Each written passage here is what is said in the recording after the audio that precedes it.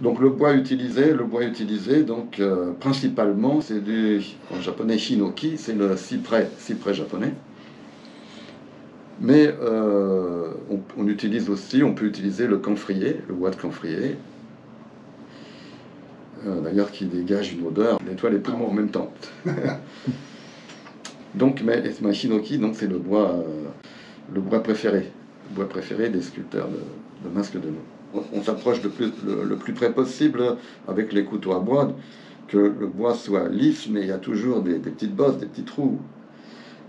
Et donc, euh, on, va enduire une poudre d'huître, hein, avec à mélanger avec de la colle également, et qu'on va mettre euh, sur le bois. Euh, on puisse savoir si c'est bien lisse ou pas, donc on utilise la lumière. Parce qu'avec la lumière, là, on peut rien cacher. Hein, s'il y a- il suffit qu'il y a des bosses, des trous, là, tout de suite, ça paraît. Et donc, la lumière, la lumière est très importante. hein. Et la lumière du matin et la lumière du soir aussi différente. Un millimètre, c'est très important. Un millimètre euh, de profondeur ou, ou de, tr- de moins ou de trop, ça va changer l'expression du masque. Et ça, donc, c'est très très minutieux. C'est au millimètre près. Au millimètre près. Le côté droit, il est plus étroit que le côté gauche. Mais quand je dis plus étroit ou plus, plus large, c'est des millimètres. hein. Euh, Je parle en millimètres. hein. Euh, à l'époque de Muromachi, euh, les artistes ne signaient pas leur nom. Ils ont commencé à signer leur nom à l'époque, commencé à l'époque Edo. Au début, c'était seulement un outil pour, le, dans le théâtre. Maintenant, c'est devenu un objet, d'art, si vous voulez, mais avant, non. C'était faisait partie intégrante du tout.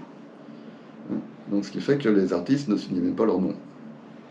Mais, mais les grands artistes, on pouvait reconnaître, euh, un expert pouvait reconnaître euh, le nom, le nom du sculpteur. Il faut imaginer la scène de No. Il y a un rideau, et il sort de là, et donc il y a euh, un grand corridor, si vous voulez. Il va présenter cette face, ce côté du masque. Quand il va revenir à la fin de la pièce, il va présenter euh, l'autre côté du masque, côté gauche, qui n'est pas la même. Même chose, puisqu'il y a, il y a, c'est décentré. Si c'est étroit, les traits apparaissent plus tirés, plus concentrés, si vous voulez. Parce que, et donc, quand ils sont euh, plus larges, euh, plus les traits de- apparaissent plus relaxés. C'est important parce que c'est l'histoire même de la pièce de No. No, c'est le théâtre des, des revenants. Ce ne sont pas des humains, ce ne sont pas des êtres humains.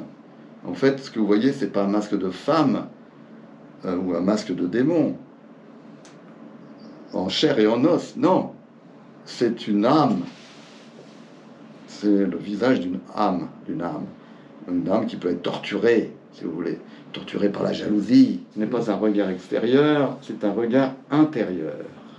Mais là, là donc, les yeux euh, sont euh, vivants et regardent vers l'intérieur. C'est très important l'inclinaison des, des yeux. Quand vous regardez un masque, ce sont ses yeux. hein. Euh, Vous regardez le masque par, par en bas.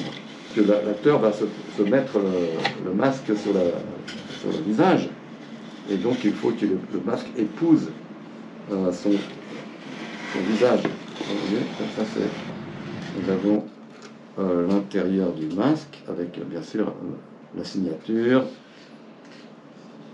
C'est pas n'importe comment, hein, ça n'a pas été creusé n'importe comment. Il, y a, il y a une raison hein, pour ceci. Tout a une raison, soit extérieur et à l'intérieur. Et quand, quand on veut savoir si le masque euh, c'est un bon masque ou pas, on regarde déjà d'abord l'intérieur. On ne regarde pas l'extérieur, l'intérieur. Si c'est bien fait, euh, le masque est bon. Euh, plus important pour un acteur de, dos, quand il joue sur la scène, c'est qu'il fait chaud. Et surtout en été, au Japon, il fait très chaud. Et donc il va suer. Et la sueur, il ne faut pas qu'elle sorte par les yeux, ni par le nez, ni par la bouche, bien sûr, vous comprenez? Donc, euh, c'est, il faut que la sueur ruisselle le long, ici, jusqu'à ici, et ici ruisselle, arrive jusqu'à là. C'est coulé alors. C'est coulé là, sous le menton. L'acteur ne pose pas son, le, le, masque exactement sur son visage.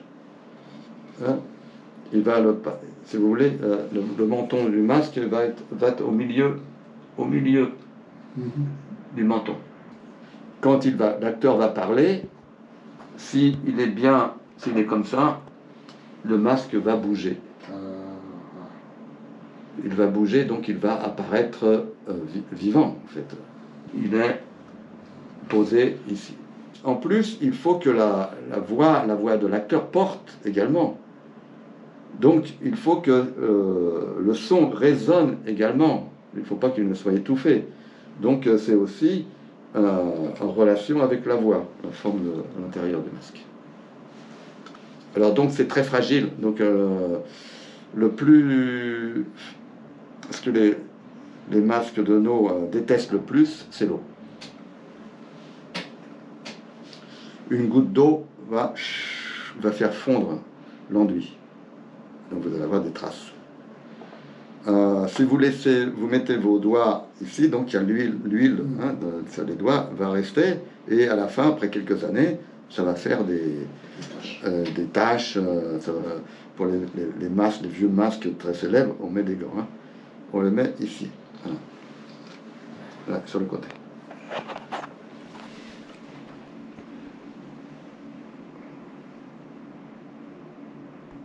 C'est de la poudre euh, d'encre de Chine qu'on utilise hein, pour les cheveux, pour euh, les sourcils, pour les yeux également à l'intérieur, pour les dents. Et si vous avez remarqué, tous les, euh, tous les masques de nos, ils ont les dents noires, noircies. C'était, en fait, c'était, la coutume, c'était une coutume à, Kyoto, à la cour dans la cour de l'empereur. Donc euh, ces cheveux, c'est en fait du crin de cheval, qui à l'origine était blanc-blanc, et euh, on le teint selon on veut, euh, la couleur que l'on veut obtenir, on les teint. On plombe les, cheveux, à les crins à l'intérieur, qu'on on fait bouillir, et, et les cheveux deviennent donc colorés. On pourra, faire un masque, bon ça dépend bien sûr euh, du masque, parce que vous voyez, un masque comme ça peut-être euh, sera, prendra plus de temps qu'un masque comme ça. Bien que ça soit un masque très difficile, euh, pour l'expression est très difficile, mais le temps mis donc sera, présentera beaucoup plus. Il faut implanter un par un, toutes les mèches, les couper et tout, c'est quand même un travail assez fastidieux. Je ne faisais pas ça tous les jours, je ne fais pas ça tous les jours, donc euh, ben ça varie entre 7, euh, entre 7 ou 8 mois, 8 mois et une année. Donc quand on, on, entame, on, on, entame la sculpture de, des masques, il faut du temps. Quand on s'y met, donc il faut se plonger à l'intérieur et il faut au moins un minimum, je dirais, de 3 heures, 3 heures de livre ne serait-ce que pour la préparation, il faut, il faut aiguiser les couteaux, il, faut, il y a beaucoup de, choses à faire. Les boîtes sont spéciales, vous avez vu, euh, sont faites à Kyoto déjà, euh, parce que c'est aussi, euh, c'est un art aussi.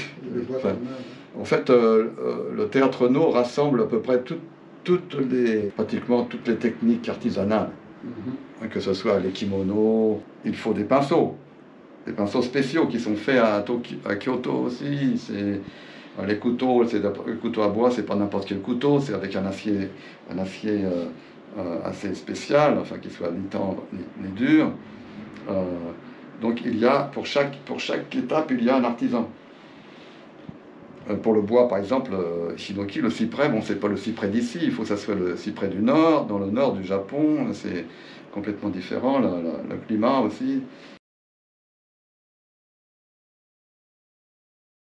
Tout la mer, la montagne, les, euh, lacs, euh, les rivières, hein, avec le mont Fuji qui domine au fond, euh, c'est un paysage magnifique. Je pense que c'est le, paysage le plus magnifique au Japon.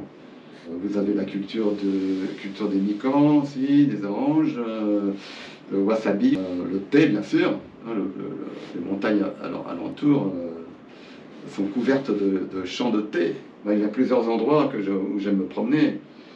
Ben, j'escalade les montagnes, si vous voulez, donc le mont Yuso, hein, que j'aime beaucoup aussi, au Megashima, par exemple. Au Megashima aussi, c'est le, départ des, Alpes du Sud. moi, j'aime beaucoup les, arbres, donc ce qui est vraiment un paradis pour les, les arbres ici. En fait, euh, ici, quand on dit euh, la forêt, on veut dire la montagne. Il n'y a pas de forêt comme en Europe. Hein. La nature est très très belle. La nature est partout. La nature est partout, c'est ce que j'aime à Shimoka, c'est la nature. Sorti de la ville, là, peut-être en, même pas une demi-heure, même pas une demi-heure de voiture, vous êtes en pleine nature, en pleine montagne.